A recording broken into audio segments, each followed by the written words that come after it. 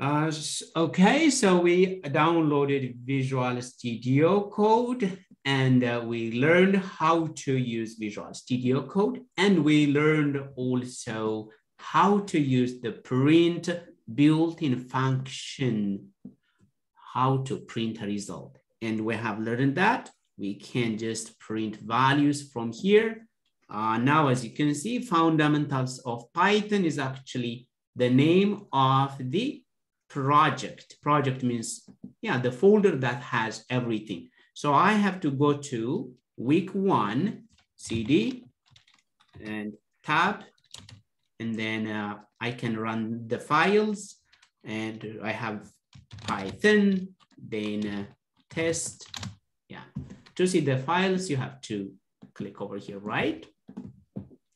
Uh, but if you don't have this also, instead of uh, dragging this up, if you don't know how to do that, or if it doesn't work, uh, you can come here, just in this just folder, open in integrate terminal. It just open for you, and then you can run the files. Now, for instance, we can run Python and hello world. I am using uh, this the tab to complete the file name, and it just run this code. Or if you don't like also this, instead of just opening this or this, maybe you can just click over here and it works. And maybe if you want to run this file and just it runs for you. Great. Now let's learn Python basics. Basics of Python. Py. So I'm just giving name for each file based on the topic I am going to cover. So we have this hash, do you know this, the hash symbol? We call it a comment. It's a comment, okay? So if you run it, if I run, nothing, because, because the above statement is a comment. So as you can see, but this will be printed out, right? Of course. Yeah, so anything you write will not be executed. For instance, if you say uh, something like this, I maybe to write, uh, no, to get, to get an output from Python, you need to use a print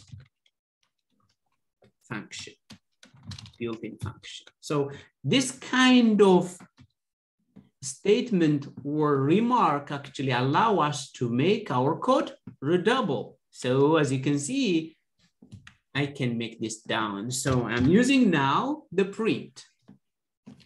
Let's see. Let's see how print works. Yeah. So I'm now using the print. Actually, a print you have to have these parentheses. Does print text more? Yes, more argument. Yeah, first, second, whatever, any number, 2021, or maybe my age, 150, or other data type, true, we will come to data type soon, false, or maybe list of items, papaya, mango, maybe now you can see that list of what? List of items you may feel that a kind of fruity, right? It smells like fruity here, papaya, mango, avocado or something. And uh, if you just click, it just print out. So this print state, I mean, function is so generous that it just take everything. But I will want to talk about the purpose of comment. The purpose of comment is actually to make your code readable, yeah, readable. And now, for instance, I can say another, um, Python has many built-in functions. Example, print. Yeah, print. And uh, print len input round it is. Now I can use again print. I love the print function. And then, yeah. So by now everybody should be, uh, I mean, should know how to use the print function. Yeah. At least you should know how to write hello world, right? Hello world, like this. Because I will come to you soon and I want you to write that for me. Great. Now let's go to another file and make use of the different built-in functions because I don't want to write everything in one place. Great. Now I want to write built-in functions.py. Did we use already built-in functions, guys? You tell me. Yes, the print function. Yes, great. We have used the print function. The print function is a built-in function that takes many, many arguments. Not one or two, it takes many, many arguments. Arguments means anything we put, anything we put as input, as input. Uh, it could be number, whatsoever, right? Yeah, so what is this? This is actually a comment. Anything that I write is like here, it's like a note also. Now let's see step by step. Now first, let's see print, and then uh, we see length, and then we see uh, input, and then see round, round. But do you have to really remember all this? Yeah, through process, you learn them okay? But this, these are some of them. So I can use print. I love using print because it shows me what's happening. it rhymes, right? Okay, yeah, it really rhymes. I love using print because it shows me what's happening. Oh yeah, great. So if you just write, I mean, click over here, and you see I love using print because it shows me what's happening now. You have used the print. Now let's see len. Len is actually to check the length of uh, a string. We call this, by the way, guys, string. Any text, we call it string. Okay, for instance, print my name. This is my name, the longest name ever used and uh, oh yeah, it's printed out. But maybe if I just know the length of my name, I can actually print it like this. So first, let me just check it manually.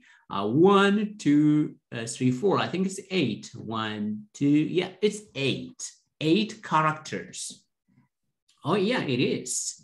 Um, maybe how about if I write print and then length of some other word, maybe I, if I say eyeball, it's so, so eyeball, I can see three characters here, four characters, uh, seven, but the empty space also will be counted. So it's going to be eight characters again.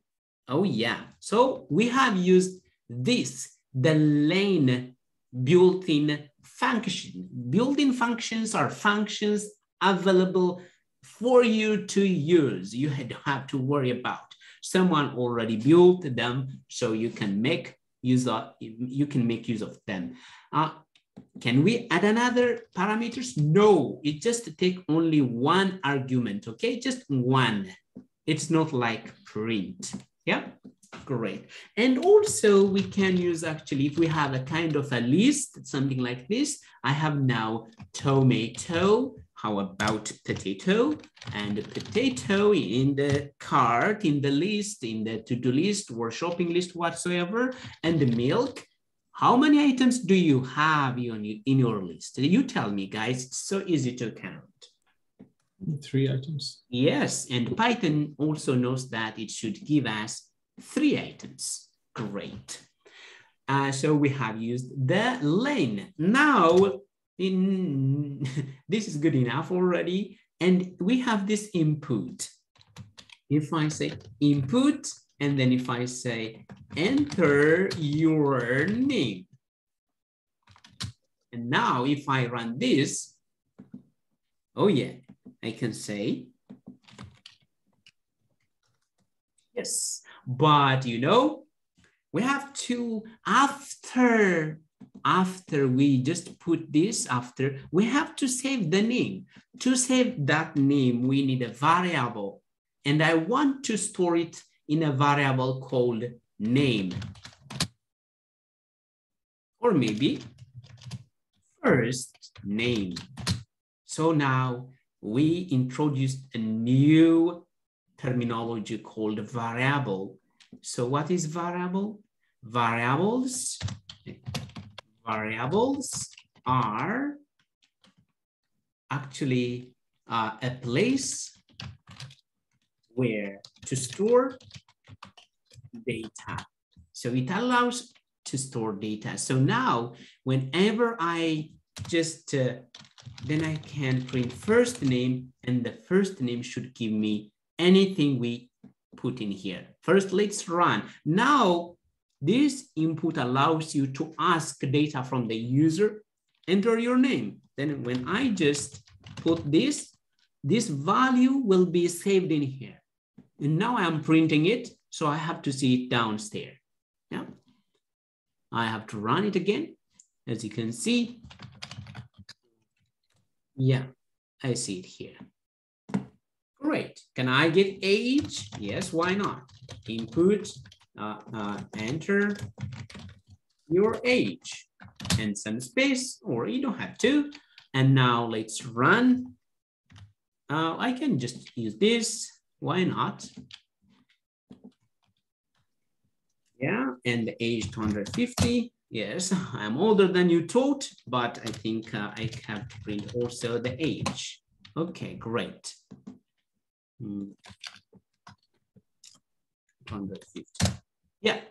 So now we have used the input built-in function. Uh, maybe this, uh, now we can just uh, comment this out. I showed you this commenting. Sometimes if you don't want to run your code, you can also comment it like this. Uh, I think control shift and some, I have this control and I can comment everything like this. Uh, yeah, but Another way of commenting is multi-line comment, better way, like this. And don't do that. Uh, I can do some control. Yeah. So you need this, maybe I think I have to show you separately.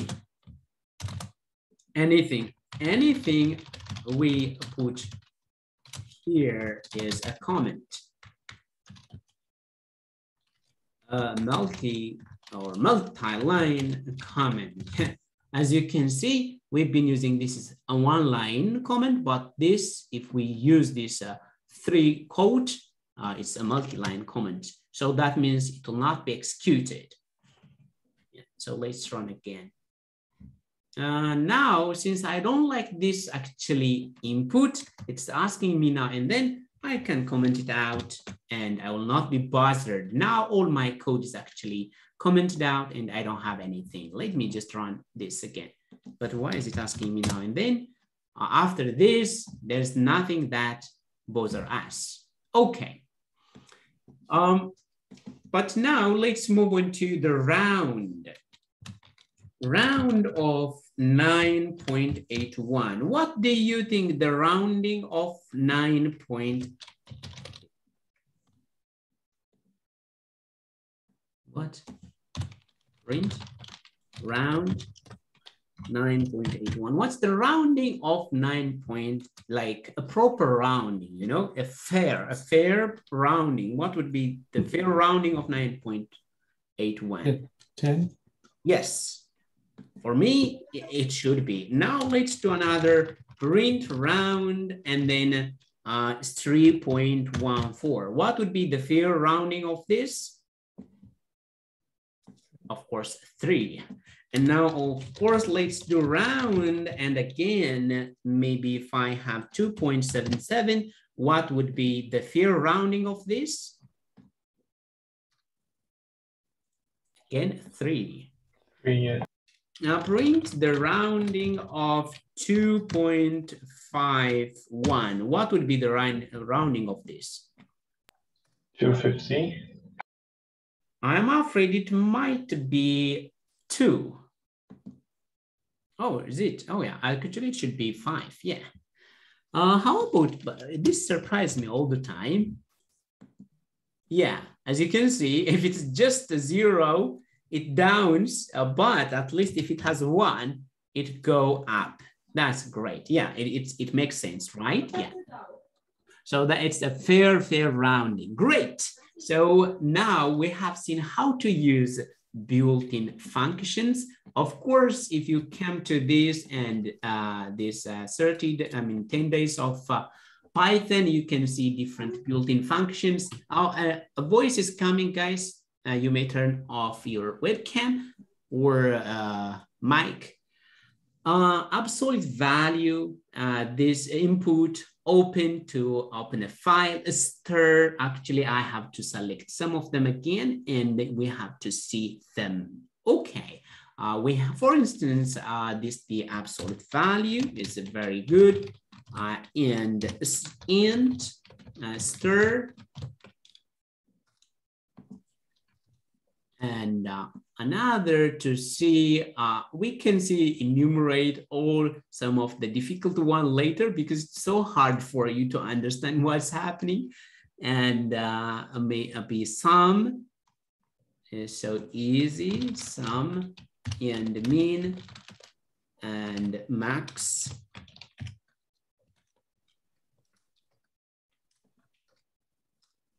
And of course, I should have said type. Okay, and bool.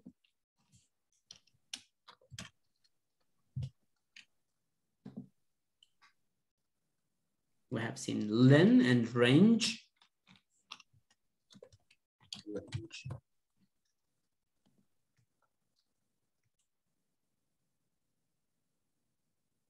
Yeah, I can also use ID. ID is so strange. Uh, dir is also good. Um,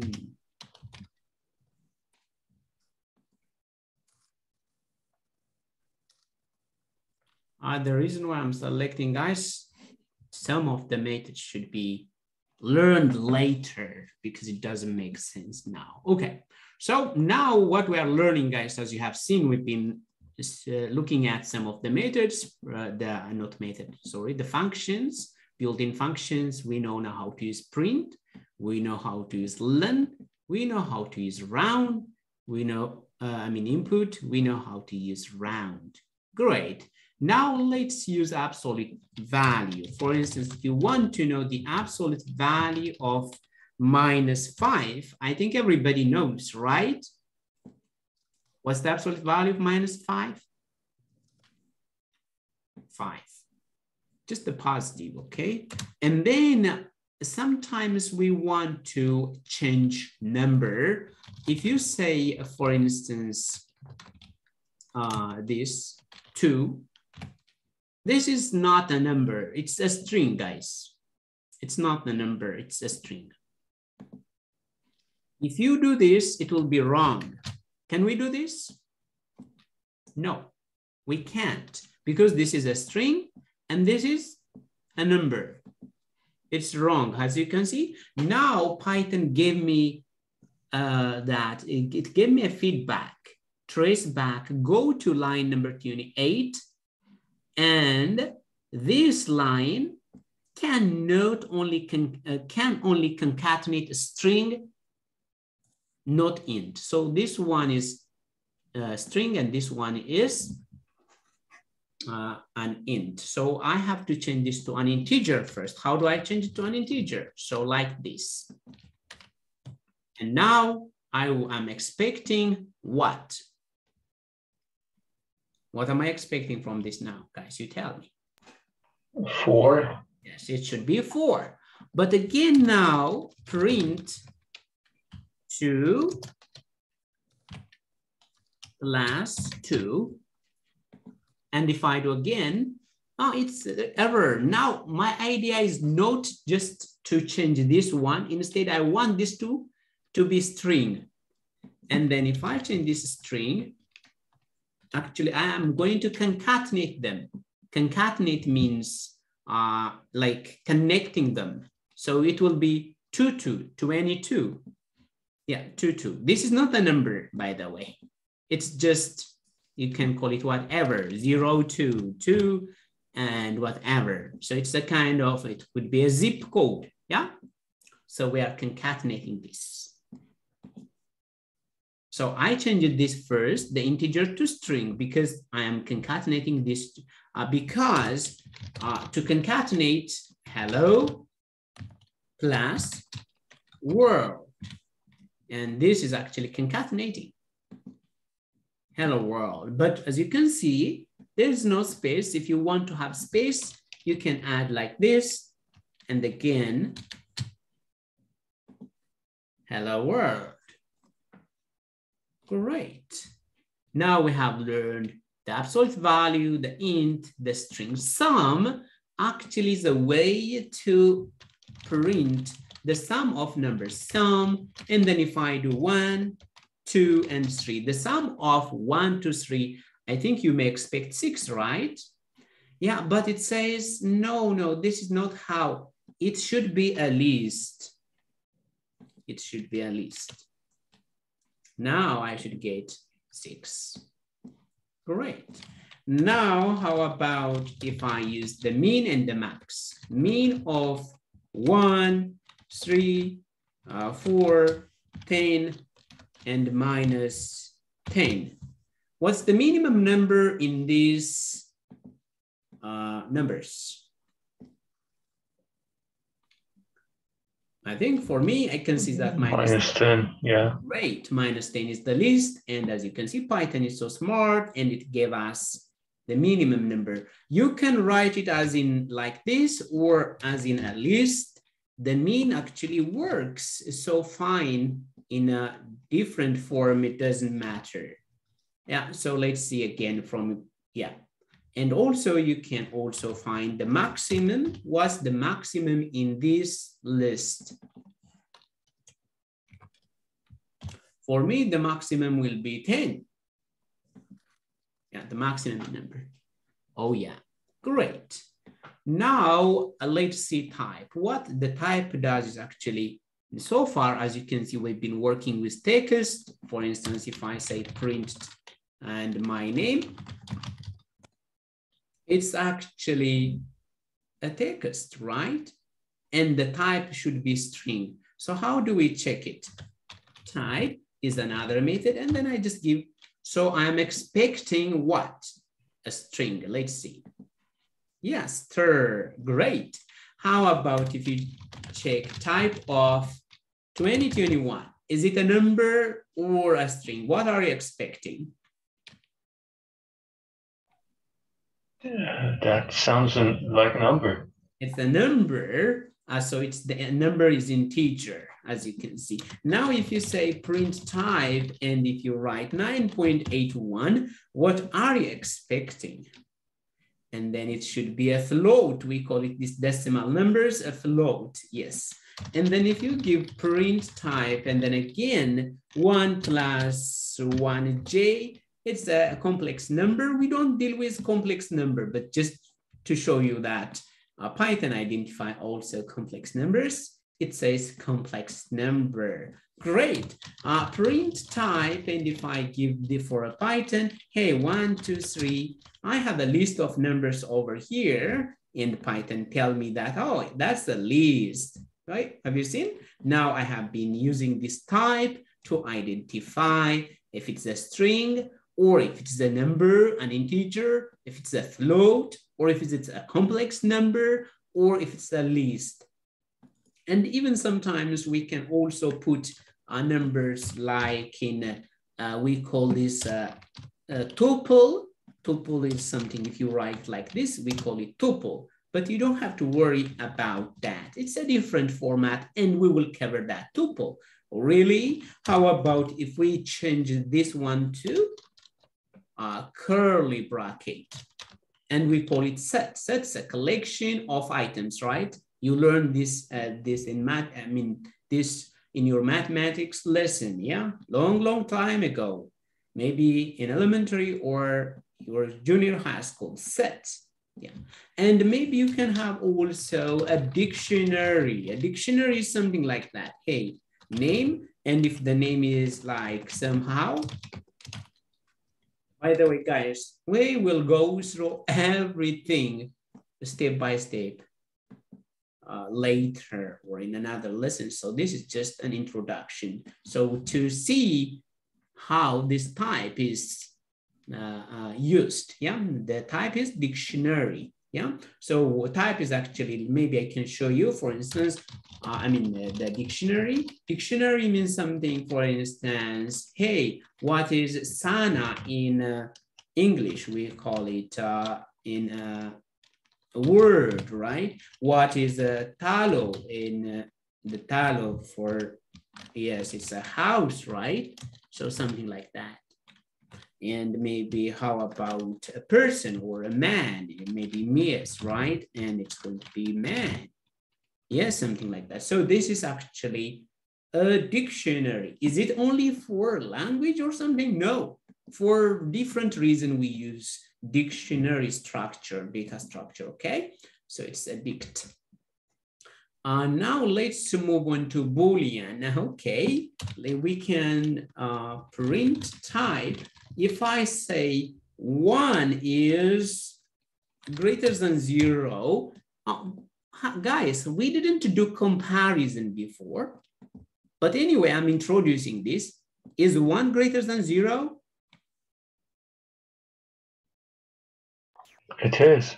Yes, it is. So that means it is true. The value is true. And that true value is going to be Boolean type. So the type is Boolean. Have you seen? Or you can just check print type uh, the type, just what type, and if I say true, it's true, the term true by itself is a Boolean, and if you say print type, false is a Boolean, and anything you get after you compare something is also the length of my name is this is greater than the length of the Python. Is that true? Let's check now. I have to count it.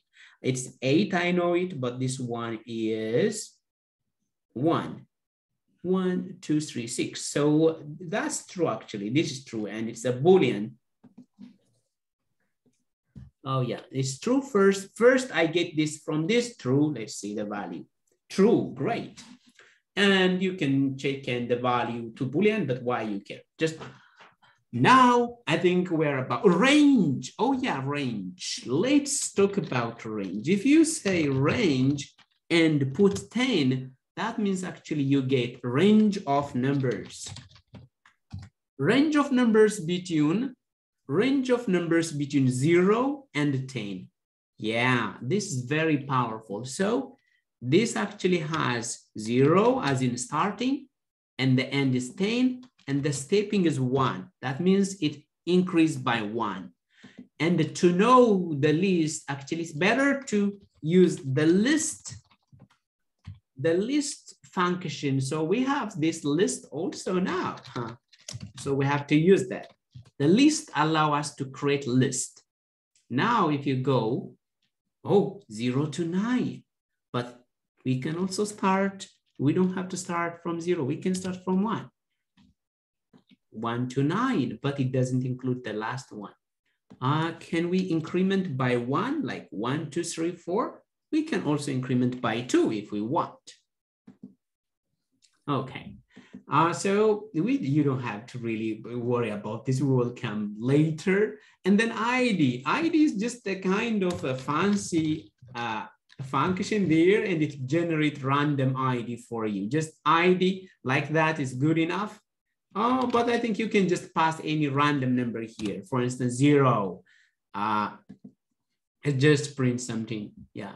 Oh, or just one, just to generate some random number for you, okay?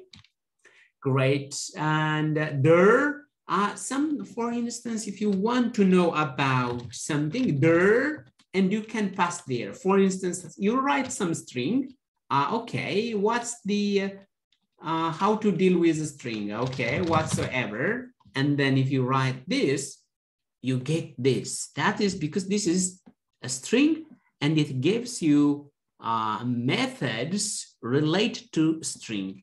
And now even this dir is also will not be so clear for you. No, don't worry about it. For the time being, these built-in functions are good enough for you. And if you don't get them all at once when I'm teaching right now, don't worry. If you know how to use print and len for the time being, that's good enough. But it's just the exposure is good enough, okay? And I, I hope you can also go through it again and that make things much clearer, okay? Yeah, I think uh, this is good enough and I have to stop the recording and we have to move on to variables and data types. I think first it's better to talk about data types.